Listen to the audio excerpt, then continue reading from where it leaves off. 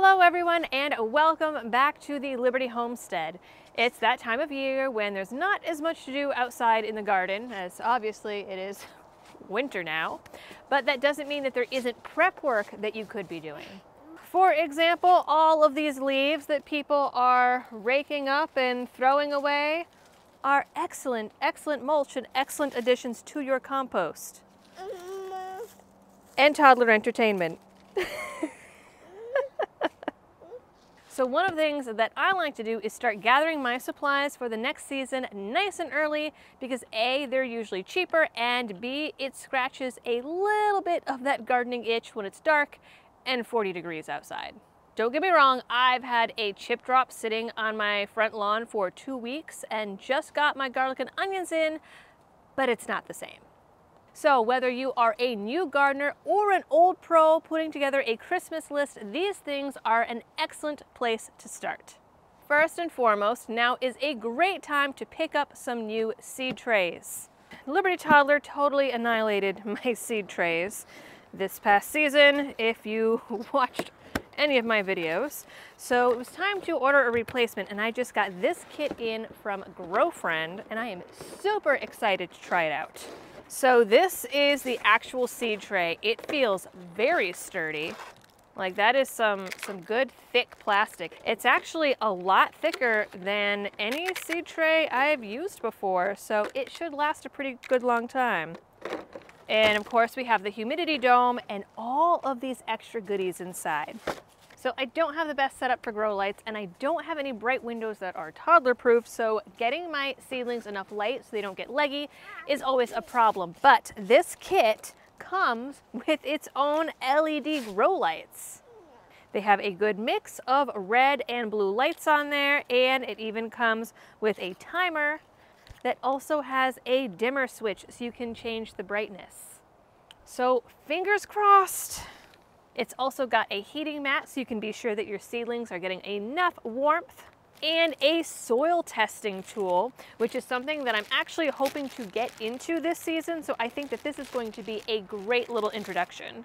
If you want to check out the GrowFriend kit for yourself, I will have a link to it down in the description as well as in my Amazon shop.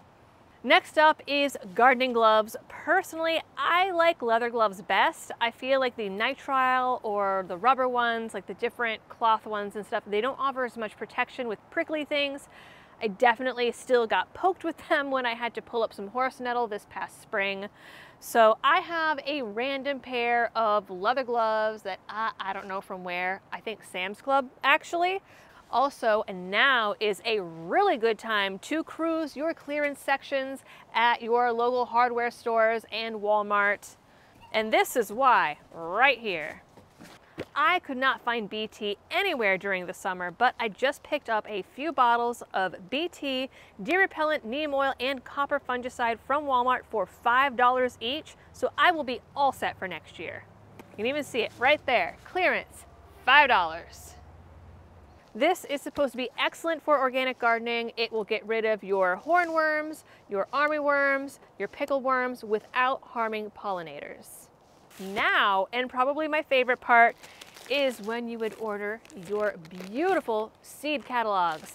I really like Baker Creek and Southern Exposure Seed Exchange. Theirs hasn't come in yet, so I can't show you that one. I really like Baker Creek because they will give you free seeds if you spend a certain amount of money, which is always a bonus. But I have found that not everything they have is actually heirloom, so I like to cross-reference and even price compare with Southern Exposure as every single one of their varieties has these little symbols to tell you if they're organic, heirloom, from small farms, or particularly suited to grow in the South. And that also helps me narrow down which varieties I want to try. Now you could just do that online, but I like to have a physical thing to hold in my hands and also the photos in Baker Creek are beautiful. I mean, look at that. It's just, I also like to paint in my free time, which right now is not really a thing, but I'm sure it will be again someday. And I really like to do still lifes of flowers and vegetables and things like that. And I mean, this just provides all kinds of beautiful photos that I will also be able to use for art projects. I don't have a coffee table, but I know a lot of people that use this as a coffee table book.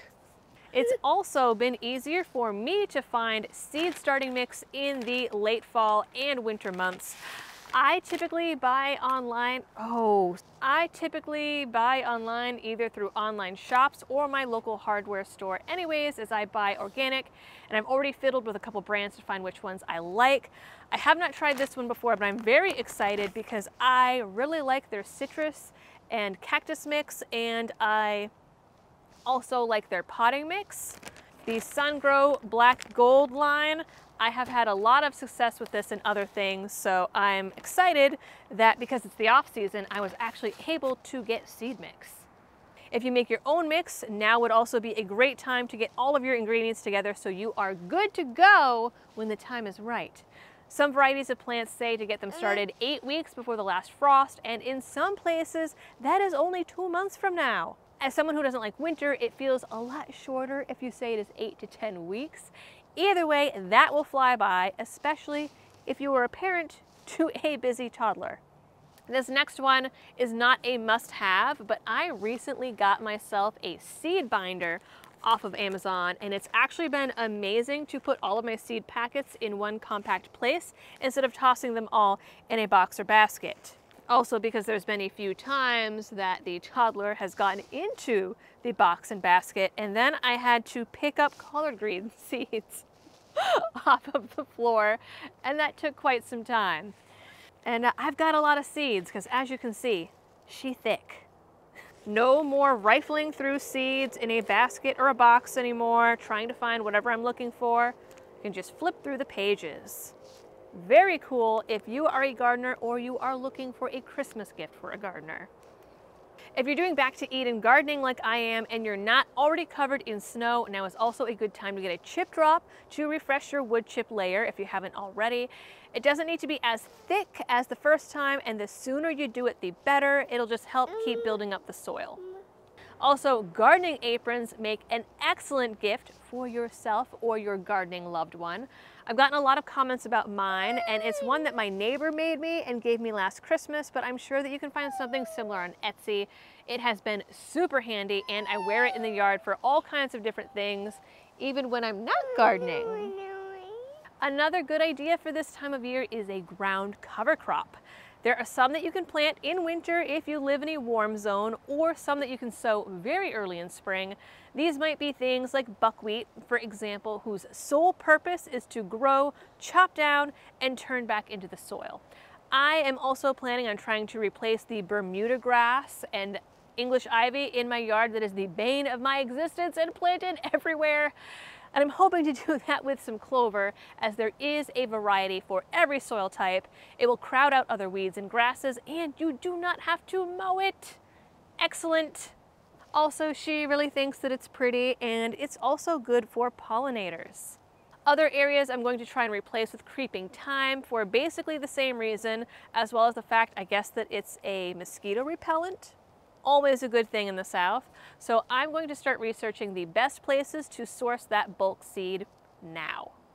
Some places even have nursery pots and planters on sale right now, so also a good thing to check out. And finally, if you don't have a sunny window, grow lights will be your friend. Now I am personally using the ones from GE that are LED grow lights, but fun fact, if it says grow light on it, it's probably going to add a bunch of money to the price that you don't necessarily need to spend.